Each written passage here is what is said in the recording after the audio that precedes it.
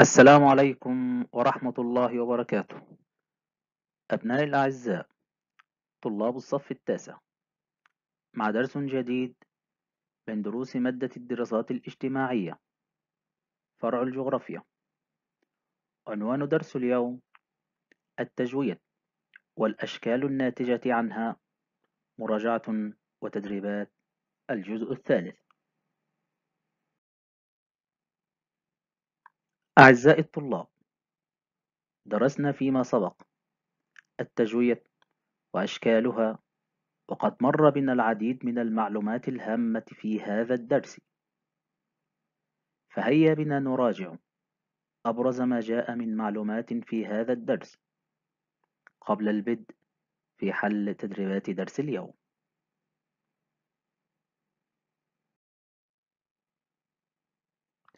تذكر أن عزيزي الطالب. العوامل الخارجية. المؤثرة. في تشكيل سطح الأرض تنقسم إلى التجوية. وتنقسم التجوية إلى تجوية ميكانيكية وتجوية كيميائية.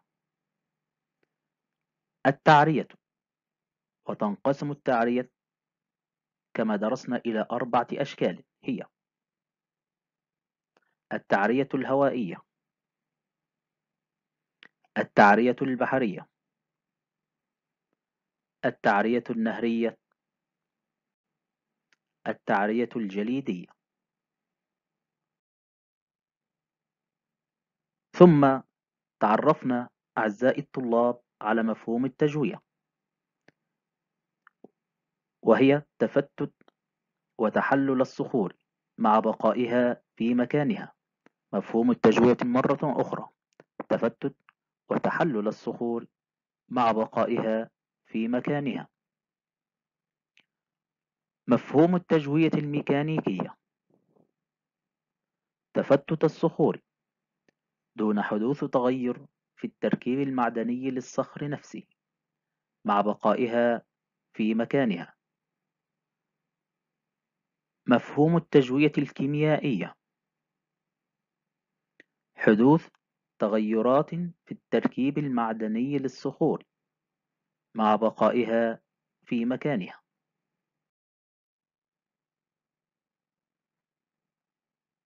ثم أعزائي الطلاب تعرفنا على عوامل التجوية الميكانيكية. من خلال هذه الصور عرفنا أن عوامل التجوية الميكانيكية هي كانت كالتالي اختلاف درجات الحرارة التجمد الكائنات الحية. إذا عوامل التجوية الكيميائية الإذابة والأكسدة.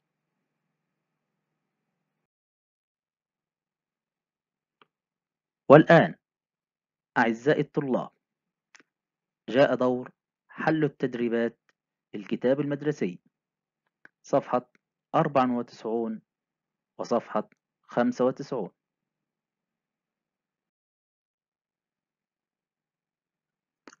هيا بنا أعزائي الطلاب نفتح سويا الكتاب المدرسي صفحة 94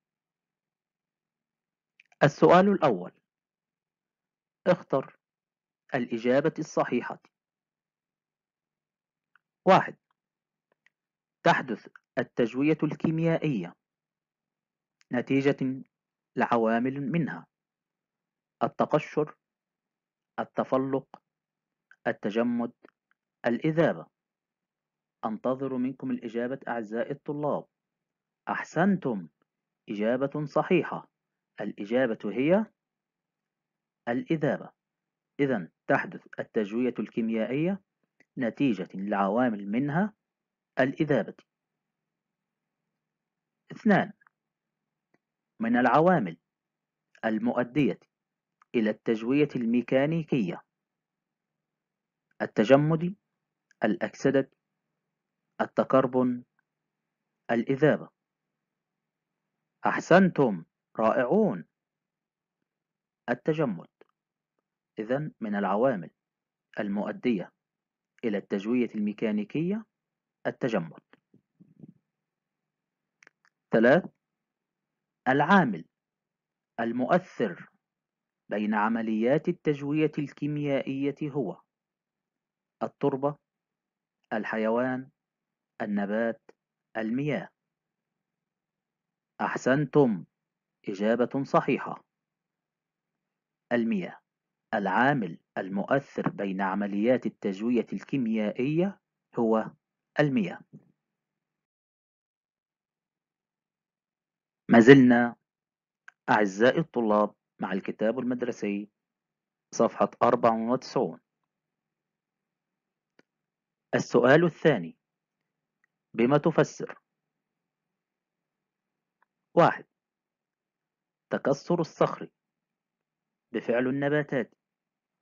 سأترك لكم الفرصة أعزائي الطلاب للوصول إلى الإجابة الصحيحة. هناك من توصلوا بالفعل إلى الإجابة الصحيحة. وإني أنصت إليكم الآن. بما تفسر تكسر الصخر بفعل النباتات. أحسنتم. إجابة رائعة وصحيحة. بسبب نمو جذور النباتات وتوسيع الشقوق بين الصخور. بسبب نمو جذور النباتات وتوسيع الشقوق بين الصخور. رقم اثنان. بما تفسر. تكون الدحول. هيا سريعا أعزائي الطلاب. من سيذكر الإجابة؟ أحسنتم. تكون الدحول بسبب تسرب مياه الأمطار بين الصخور الجيرية. بسبب تسرب مياه الأمطار بين الصخور الجيرية التي تعمل على ذوبان كربونات الكالسيوم التي تسمى الحجر الجيري. ثلاث بما تفسر تأكسد الصخور. رائعون لقد ذكرتم الإجابة سريعا.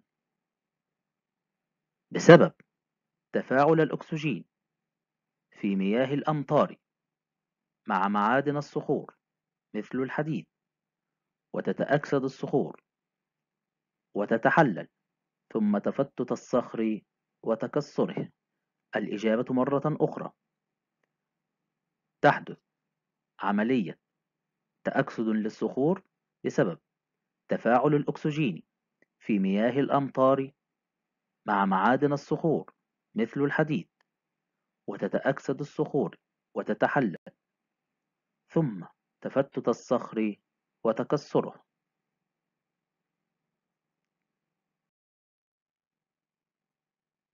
الكتاب المدرسي أعزائي الطلاب الصفحة التالية صفحة 95 السؤال الثالث عرف المفاهيم الآتية. أمامنا الآن ثلاثة مفاهيم. واحد التجوية. اثنان التجوية الميكانيكية. ثلاث التجوية الكيميائية. وسأترك لكم الفرصة قليلا لذكر الإجابات الصحيحة. عرف المفاهيم الآتية. التجوية. أحسنتم. هناك من يذكر الإجابة الآن. يقصد بالتجوية؟ تفتت وتحلل الصخور مع بقائها في مكانها. التجوية مرة أخرى.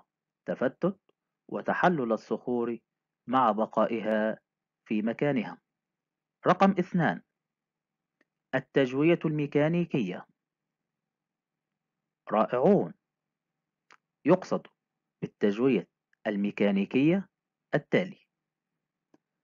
تفتت الصخور دون حدوث تغير في التركيب المعدني للصخر نفسه مع بقائها في مكانها. مرة أخرى التجوية الميكانيكية تفتت الصخور. دون حدوث تغير في التركيب المعدني للصخر نفسه مع بقائها في مكانها. ثلاث التجوية الكيميائية. أحسنتم. إجابة صحيحة وموفقة. حدوث تغيرات في التركيب المعدني للصخور مع بقائها في مكانها. حدوث تغيرات في التركيب المعدني للصخور مع بقائها في مكانها.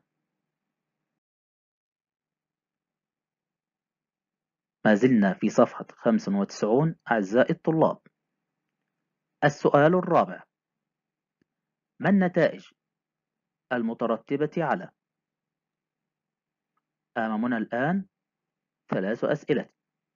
واحد اختلاف درجة الحرارة بين الليل والنهار في المناطق الصحراوية. واثنان تجمد مياه المطر داخل شقوق الصخر في المناطق الجبلية والباردة. ثلاث تسرب مياه الأمطار في الصخور الجيرية. من سيجيب على رقم واحد أعزائي الطلاب؟ رائعون. هناك من توصل إلى الإجابة. أحسنتم. إني أنصت إليكم. ما النتائج المترتبة على اختلاف درجة الحرارة بين الليل والنهار في المناطق الصحراوية؟ أحسنتم. يؤدي هذا الاختلاف إلى تقشر وتكسر الصخور وتفتتها في مكانها. إذا اختلاف درجة الحرارة بين الليل والنهار في المناطق الصحراوية ينتج عنه تقشر وتكسر الصخور وتفتتها في مكانها. اثنان تجمد مياه المطر داخل شقوق الصخر في المناطق الجبلية والباردة. إجابة صحيحة أحسنتم. يؤدي ذلك إلى زيادة حجمها في الشقوق ثم اتساع الشقوق وتكسرها. إذا عندما تتجمد مياه الأمطار داخل شقوق الصخر فإن ذلك يؤدي إلى زيادة حجمها في الشقوق ثم اتساع الشقوق وتكسرها. ثلاث تسرب مياه الأمطار في الصخور الجيرية. أحسنتم إجابة صحيحة. يؤدي ذلك إلى ذوبان الحجر الجيري ثم ينتج عنها كهوف ودحول ومغارات. ما زلنا أعزائي الطلاب في صفحة 95 السؤال الخامس. أجب عن الأسئلة التالية. واحد. اذكر العوامل المؤدية للتجوية الميكانيكية. اثنان وضح دور الإنسان في التجوية الميكانيكية. أنتظر منكم الإجابة. أحسنتم لقد توصلتم إلى الإجابة الصحيحة سريعا. واحد أذكر العوامل المؤدية للتجوية الميكانيكية. اختلاف درجات الحرارة. التجمد الكائنات الحية. أحسنتم أعزائي الطلاب. اثنان وضح دور الإنسان في التجوية الميكانيكية. يقوم الإنسان بعدة أنشطة تساهم في تفكك الصخور وتكسرها مثل شق الطرق والمحاجر والأنفاق وقطع الأشجار والمناجم والتفجيرات. أعزائي الطلاب من خلال تطبيق مايكروسوفت تيمز عليكم الرجوع إلى معلم الصف. لمناقشة الدرس والإجابة على جميع استفساراتكم. دمتم في رعاية الله وحفظه. وسلام الله عليكم ورحمته وبركاته.